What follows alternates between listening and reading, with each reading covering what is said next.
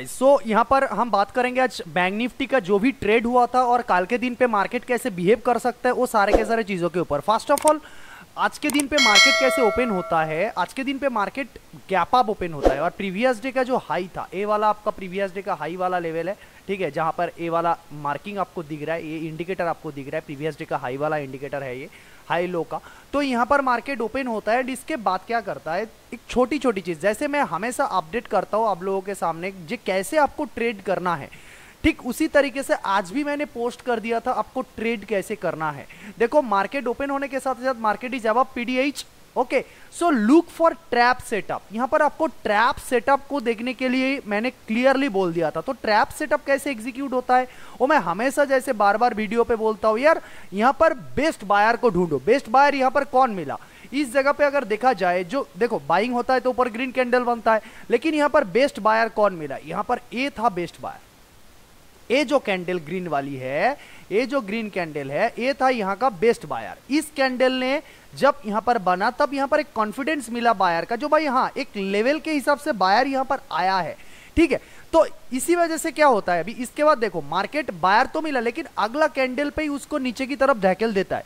ठीक है? अगले कैंडल पे ही उसको नीचे की तरफ़ धकेल देता है। और ठीक मैंने इसी लेवल को मार्क कर लिया था, इसी लेवल को मार्क कर लिया था। और देखो, मॉर्निंग वाली ट्रेड होती है मतलब 9 बजे से लेकर 9:15 से लेकर 10 बजे वाली ट्रेड को अब कभी भी करो तो वहाँ पर आपको किस पे एग्जीक्यूट करना है, उस पर आपको हमेशा हमेशा आपको वन मिनट पे एग्जीक्यूट करना है, क्योंकि वहाँ पर रिक्स छोटा होती है और मोमेंटम ट्रेडिंग वाला सेटअप बनता है सब जगह पे, ठीक है?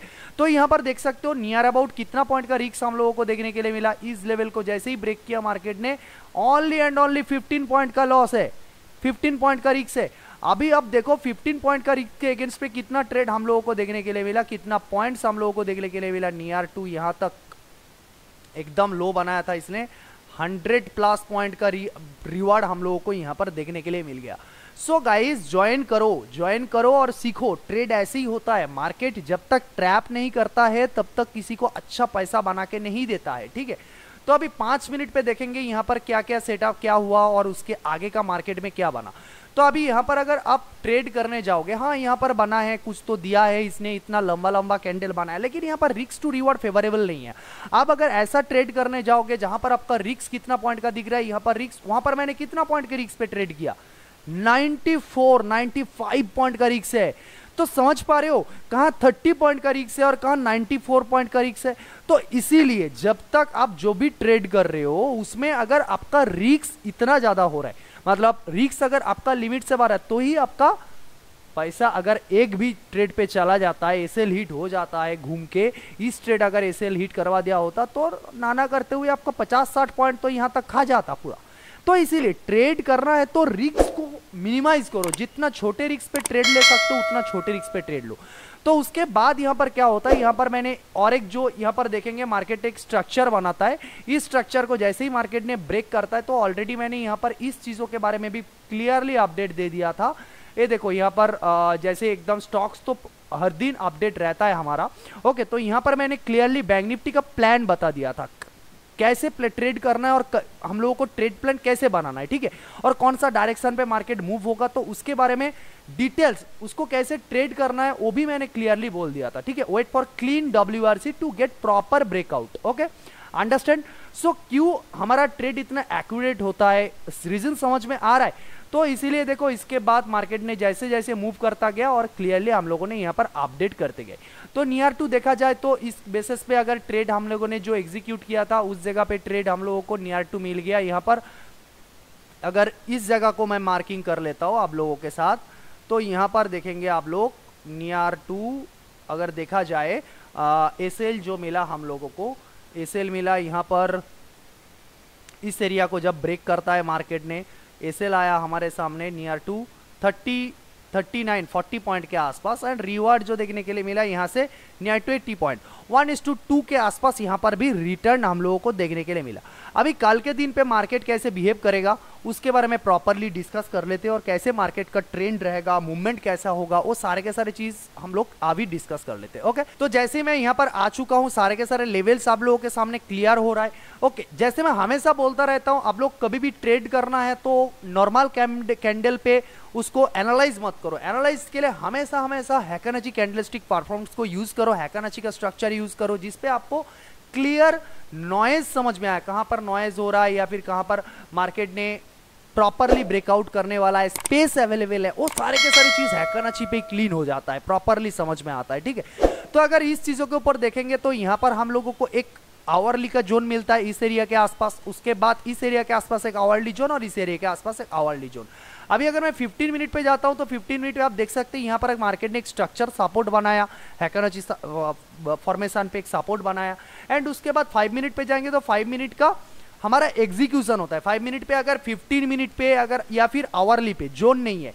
अगर 15 मिनट या फिर आवरली पे जोन नहीं है तो हम लोग फिर 5 मिनट पे जोन ढूंढते हैं। लेकिन जहाँ पर हम लोगों को 15 मिनट और आवरली जोन मिल गया, उस जगह पे हम लोगों को और फाइव मिनट वाला जोन ढूंढ के कोई फ़ायदा नहीं है, ठीक है? कोई ज़रूरत नहीं है। जहाँ पर हम लोगों को फिफ्टीन मिनट यहाँ पर तो हम लोगों को मिल चुका है तो इसीलिए हम लोगों को और फाइव मिनट वाला जोन की ज़रूरत नहीं है। अभी प्लान कैसे बन सकता है? अभी सपोज़ काल के दिन पे अगर इस जगह पे मार्केट ओपन होता है, काल के दिन पे अगर मार्केट गैप अप ओपन होता है, इस जगह के आसपास गैप अप ओपन होता है एंड इसके बाद यहाँ पर अगर ग्रीन डब्ल्यू मतलब जो वाइड रेंज वाली अच्छी अच्छी ग्रीन कैंडल होती है, वो बना नहीं पाता है छोटी छोटी कैंडल बनता है, ठीक है?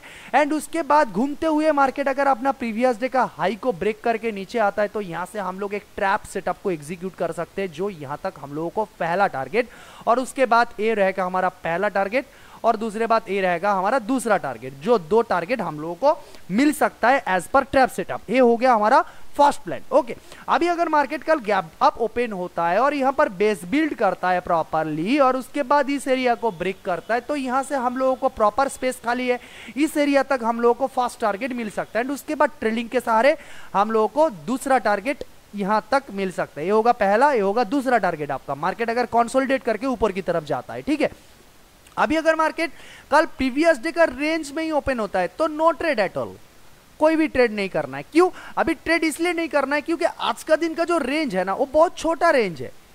ये जो रेंज है, ये जो रेंज है. तो इस रेंज के अंदर आपको मतलब क्या मूव होगा? कभी ऊपर जाएगा कैसे कैसे नीचे आएगा? फिर थोड़ा ऊपर चला गया और फिर आपने यहाँ पर ट्रेड ले लिया, फिर वो घूम के उससे नीचे आ गया. तो यहाँ पर जो मूव होगा ना, वो कॉम्प्लेक्स कॉम्प्लेक्स मूव होगा। जिस मूव में आप अगर न्यू ट्रेडर है, कोई भी अगर ऑप्शन बाइंग का ट्रेडर है तो वहाँ पर क्लियर तरीके से उसको ट्रेंड नहीं मिलेगा और ऑप्शन डीके के वजह से उसका प्रॉफिट शायद मार्केट ऊपर जाएगा, लेकिन लॉस पे बैठ जाएगा या फिर मार्केट नीचे जाएगा। लेकिन मार्केट पे ट्रेंड ना होने की वजह से स्लो होने की वजह से ऑप्शन बाइंग का प्राइस धीरे धीरे घट जाएगा, ठीक है? समझ में आया क्या चीज़ है? अभी अगर कल के दिन पे मार्केट गैप डाउन ओपन हो जाता है, गैप डाउन ओपन मतलब अगर प्रीवियस डे का लो के आसपास, इस एरिया के आसपास मार्केट ओपन हो जाता है एंड इसके बाद वो नीचे जा नहीं पाता है, ठीक है? मतलब नीचे उसने कोई प्रॉपरली रेड कैंडल बना नहीं रहा है मतलब सेलर का इतना प्रेशर दिख नहीं रहा है तो अगर उसने घूमते हुए अपना प्रीवियस डे का लो को ब्रेक करके इधर घूम जाता है तो यहाँ से भी हम लोगों को एक ट्रैप सेटअप देखने के लिए मिलेगा, जिसके लिए आपको पहला टारगेट ए दिख जाएगा, यहाँ से पहला टारगेट है। अगर मार्केट इस एरिया को भी क्रॉस करता है तो इस एरिया को आप दूसरा टारगेट और इस एरिया को आप तीसरा टारगेट हिसाब से मान सकते हैं, ठीक है? तो अभी हो गया तीसरा। तीसरा प्लान अभी अगर मार्केट कल गैप डाउन ओपन होने के साथ साथ, गैप डाउन ओपन होने के साथ साथ, क्योंकि इस जोन पे नीचे भी हमारे सामने स्पेस अवेलेबल है।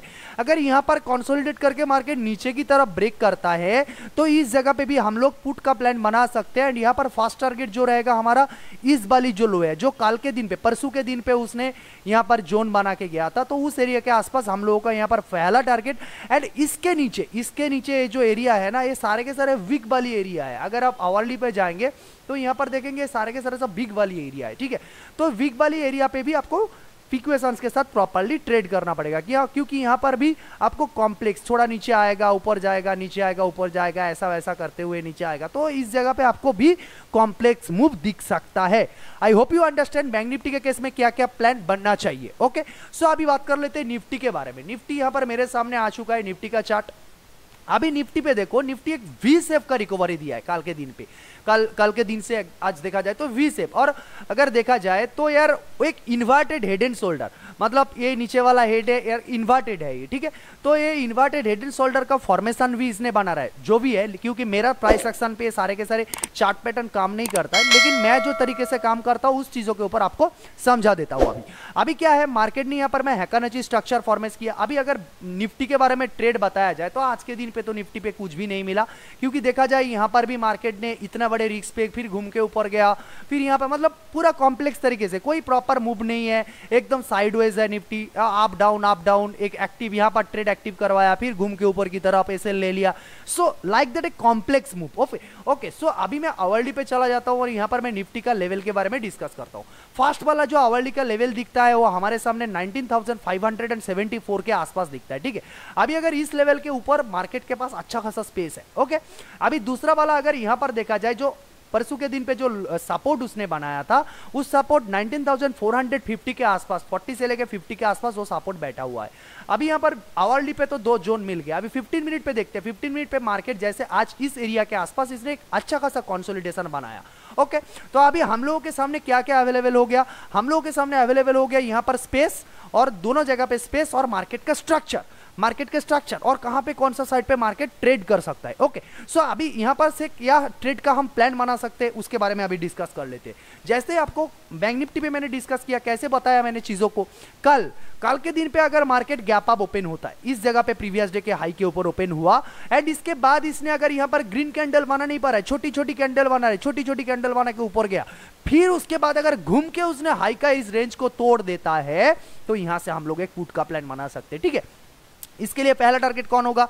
इस वाली जो जोन है, ये हमारा पहला टारगेट एंड इस वाली जो जोन है, ये रहेगा हमारा दूसरा टारगेट ओके ये हो गया हमारा फ़र्स्ट ट्रेड प्लान। ओके अभी अगर काल के दिन पे मार्केट इस जगह पे आसपास इस जगह जगह के जगह के आसपास अगर आके इसने कॉन्सोलिडेट करके ऊपर की तरफ़ अगर ब्रेकआउट भी देता है ना तो इस जगह पे भी हम लोगों को एक अपर साइड की तरफ़ ट्रेड मिल सकता है क्योंकि there is and enough space good space available है। इस एरिया तक पूरा स्पेस अवेलेबल है। ठीक है तो स्पेस बहुत अच्छा मैटर करता है। जिस बार भी आपको ट्रेड करना है कभी भी आपको ट्रेड करना है ट्रेस इज़ सॉरी जो स्पेस होता है स्पेस बहुत इंपॉर्टेंट पार्ट होता है, जहाँ पर स्पेस रहता है, उस पर आप ट्रेड को छोड़ो मत। ट्रेड को कुछ भी हो जाए ट्रेड को लेने की कोशिश करो, ठीक है?